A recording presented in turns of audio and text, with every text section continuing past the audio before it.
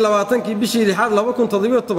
waxaad degmada wadajir ku dishay adiga iyo ilka case marxuum ekis saddexle xuseen macalin cali jilacow. Maxkamadda ciidamada qalabka sida dowladda soomaaliya ayaa maanta u fadhiisatay dhegaysiga dacwadda afar nin oo ay xer ilaalinta ku soo eedeysay in ay ka tirsanaayeen al-shabaab gaar ahaan qaybta fulisa dilalka. Afartan nin ayaa la sheegay in ay ka howlgeli jireen galbeedka magaalada muqdisho waxaana lagu kala magacaabaa shucayb cabdulaahi maxamed maxamed cismaan axmed iyo cismaaciil maxamed aweys waxaana raggan laga soo qabtay goob ciidamada dowladda ay ku baaraan dadka iyo gaadiidka oo ku taala waaxda xaawataako ee degmada wadajir sida ay xaqiijisay maxkamadda ciidamada qalabka sida.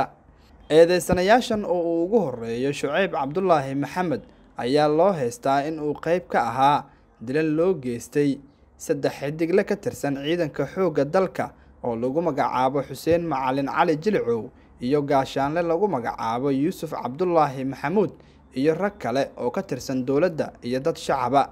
Sidoo kale raggan ayaa la sheegay in ay qorsheynayeen dil ay rabeen in ay u geystaan baarliin cabdi warsame